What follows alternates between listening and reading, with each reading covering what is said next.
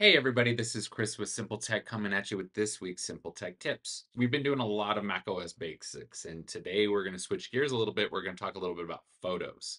Um, there is a lot to learn with photos, but where I'm going to start, it's not going to be on the organization or how to import. It's really going to be focused on editing, because a lot of us know how to take a picture. With iCloud now, they sync with our phones, when they're in our computers, and so on and so forth. But how do you start getting the most out of your photos? And let's start with editing. So today we're going to talk about four quick things and that, you know, really shouldn't take a long time, but really the basics of getting started on editing a photo.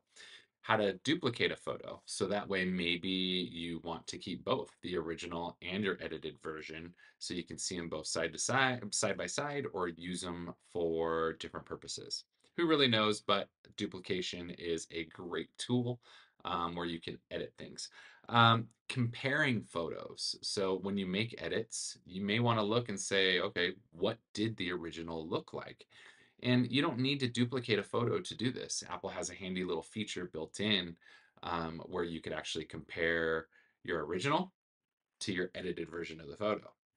Uh, so that comes in really, really handy when you're editing photos.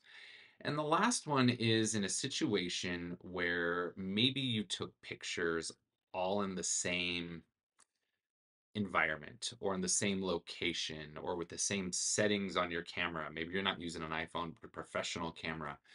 And you want to copy and paste your edits that you've made onto other photos. So there is a great way to be able to do that in macOS Photos. So that way you can make changes to a bunch of photos that are all the same when you have a situation such as that. Um, probably typically not something for the normal photographer, probably more for somebody who uses photos in more of an advanced uh, setting um, and with a different type of camera than an iPhone. And so they want to make those adjustments all the same all the way across. But you'll see more as we kind of get to that. So if you're ready to go, um, sit down. We're going to get started. Open up photos, find some pictures that you want to tinker with or play with just so you can learn. And let's get going. All right, so as you can see here, I do have photos open and I just have some images I found online and just threw them in there just for the sake of editing. Um, most of them look pretty good to be honest, so I don't know how much editing we're gonna be able to see in the changes I make, but we'll find out as we go. Um, so for photo editing basics in photos, right, you can use photo editing tools to make some simple changes to your photos, such as rotating, cropping, you know, framing the picture a little bit.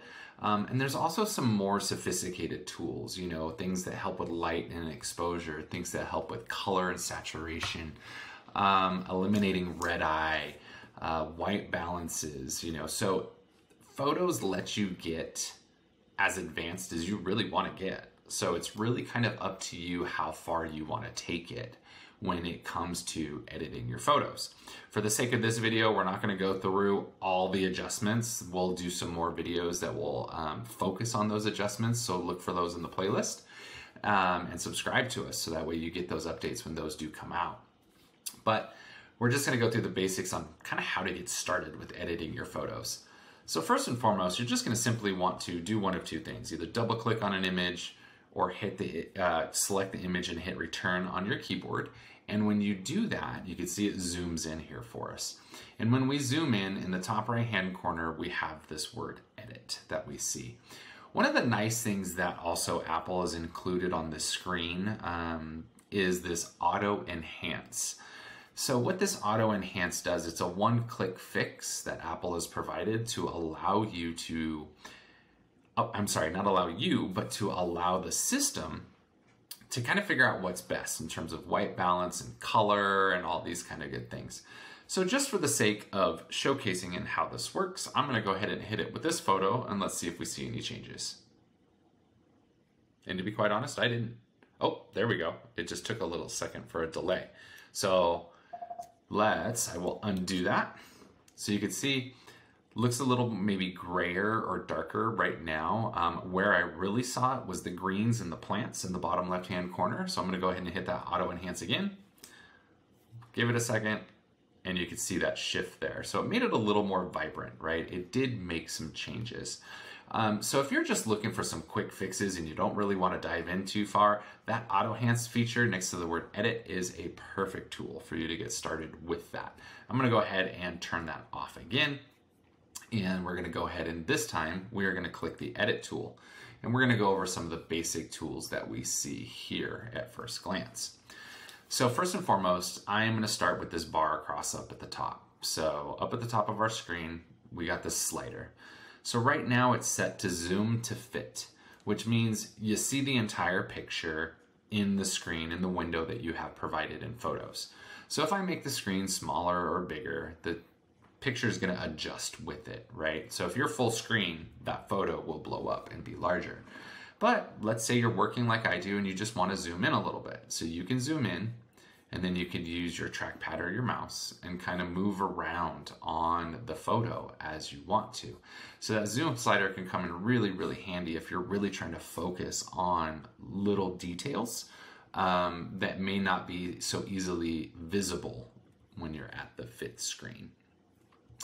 Now the next three across the top here, you got adjust, filters, and crop. So the adjust are the more advanced tools that we were kind of talking about. So you can see you got light, color, black and white, retouch, red eye.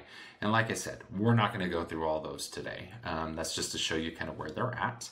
There are some great filters you can start playing with. So, you know, you want to do black and white, monochrome, you know, um, silver tone, noir. So noir, that looks pretty neat, right?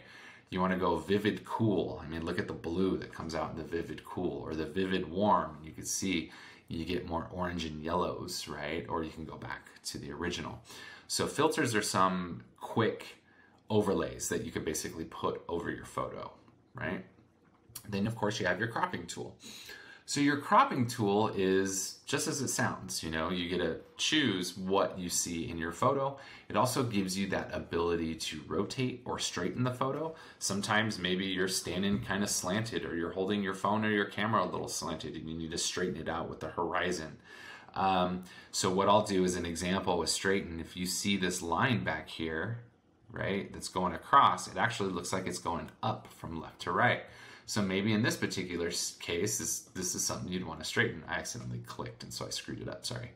But you can see it gives you grid lines so that way you can kind of straighten it out to the best of your ability, right? So here, now that horizon is a little more straight of the land going across um, on the image, right? And it's only negative one degree. So I really only changed it very, very subtly. This picture was pretty well done. Um, other things, you know, you could see when you're in that crop tool. So crop, definitely a place where you're probably going to go and, and take a look.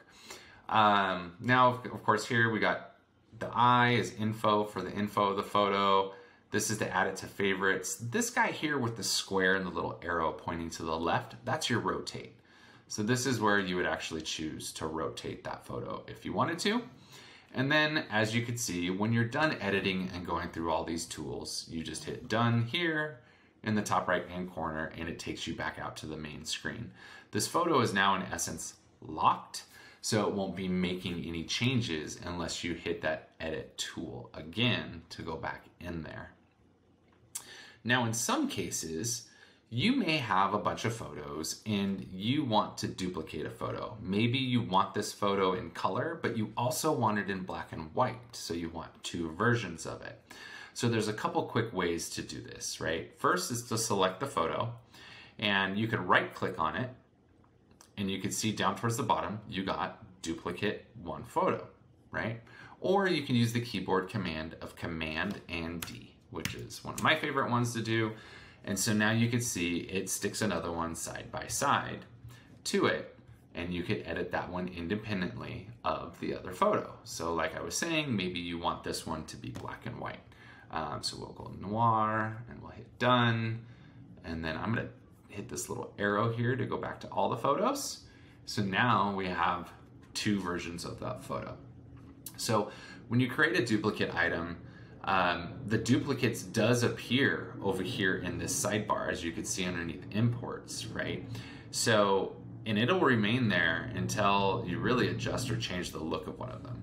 Duplicate items that you add or import into your library may require some processing before they show up as duplicates, but that's a great tool to use also if you're like, I have multiple of the same photo in my library. Um, you could also check out our, uh, our video on um, finding those duplicates and how to handle that. All right, so now one of the things that we run into that um, when we're editing is, you know, if we're in full screen like this, we're in edit mode, what does the original look like? We don't know what the original looked like anymore. And if you wanted to see the adjustments as you go, there's an actual way to do that. Um, there's two ways, really. The first is just holding down the M key on your keyboard. So with M, that's basically master, so the original. When you hold down that key, it shows you what it looked like, right? So going to the black and white, this is the black and white, M. There's also this button up here now in the top left-hand corner that you can see that Apple's added. So you can do show photo without edits. So if I you click and hold and you let go. So that is a click and hold, not just a simple click. And there you go. You can kind of go back and forth with that. So that allows you to see what that original was without any adjustments. Now, I'm going to come into this one really quick and I'm going to make a few more little changes just for the sake of, I don't need red eye, sorry. Um, we're gonna bring out some hues just for the sake of copying and pasting our changes to multiple photos, right? So one of the things that you can do in photos is copy and paste your adjustments. So let's say this is a picture of Yosemite Valley. It's one of my favorite places on earth although I haven't been many places.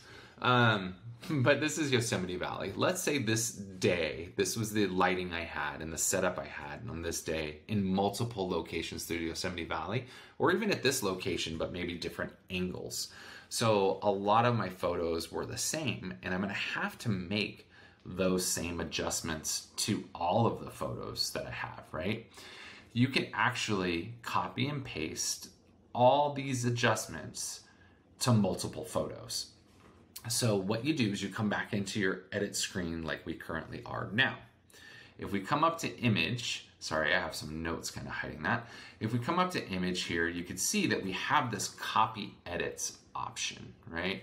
Um, oops, I just slammed my desk, so everything moved on me.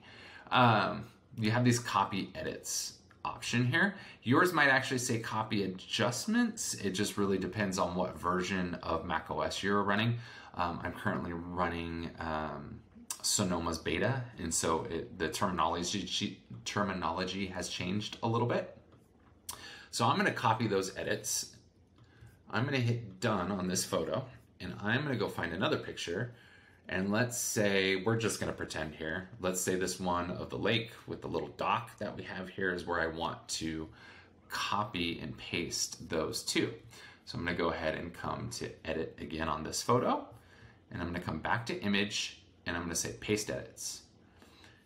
And then you can see when I did paste edits, all the changes that I had made in my adjustments were applied to this photo as well. And it looks pretty good, right? Um, you know, so holding the M key to show the masters and not. Now that's it. When then you can go through and just paste all those adjustments or edits uh, onto other photos that were used in the same location. Now, don't forget, there is also a way, you know, where you can undo and revert back to your original. Okay, so when we're in this edit screen, you can see here up at the top, you have revert to original. So if I were to click that, that's gonna remove all the edits that I've made and it's gonna take me back to the original image. Now let's say I did just make some edits here. I'm just gonna go ahead and make some just quick adjustments and kind of mess up the photo a little bit. All right, so I made some quick adjustments. Now let's say the last one or two adjustments I didn't really like what you want to do, if you just want to go back, is just undo change range. That change range was this over here, over in the bottom right hand corner. It's this range here is what it's referring to, okay? So if I do edit change range, you can see it adjusted. If I undo change range again, so I can keep going back to revert um, my edits as I went if I wanted to do it one by one. Now, if I wanted to just do all the edits all at once, again, we go back to revert to original and it just resets all the adjustments that you've made. So what's great about this is the photos are non-destructive, meaning that you can make these changes and you're not going to destroy your original because Apple is essentially has a file that goes in there with that master that goes, hey, these are the changes and adjustments they want to make to this picture. Doesn't duplicate the photo or anything like that. It's just kind of putting an overlay in there on the adjustments. And so it's non-destructive. So you're just giving it commands on how to make those adjustments, which makes it really, really handy because it saves space and it makes it easy to work with and you can feel free to play with it without damaging any of your photos. And so then we just hit done.